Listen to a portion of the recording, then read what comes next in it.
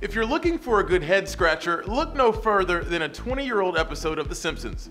You like those moccasins? Look in your closet, there's a pair for you. Don't like them? Then neither do I! Get the hell out of here! Ha! Ever see a guy say goodbye to a shoe? Yes, once. Let's pause it there. Was Homer referring to a previous instance or the one that just happened? That's a debate fans of the show have had for years. So, which is it? Surely the man who voices the line knows, right? According to BuzzFeed, the voice of Homer Simpson, Dan Castellaneta, isn't even sure.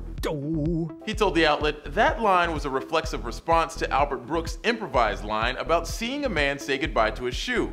I probably thought it was a previous time, but it is funnier if it means he saw it at that moment. Maybe we'll never know what Homer actually meant. In the meantime, Hank Scorpio's got something else to keep you occupied. You know who invented the hammock, Homer? No. That's something for you to do. Find that out. For Newsy, I'm Christian Bryant.